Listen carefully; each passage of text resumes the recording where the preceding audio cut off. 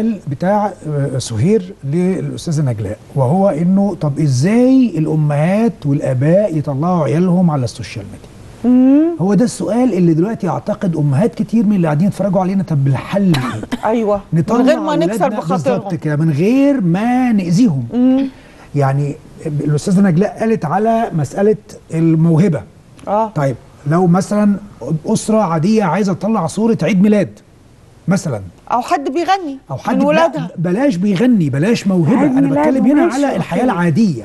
إزاي الحياة العادية تطلع على السوشيال ميديا من غير ما نعرض الأطفال للأذى؟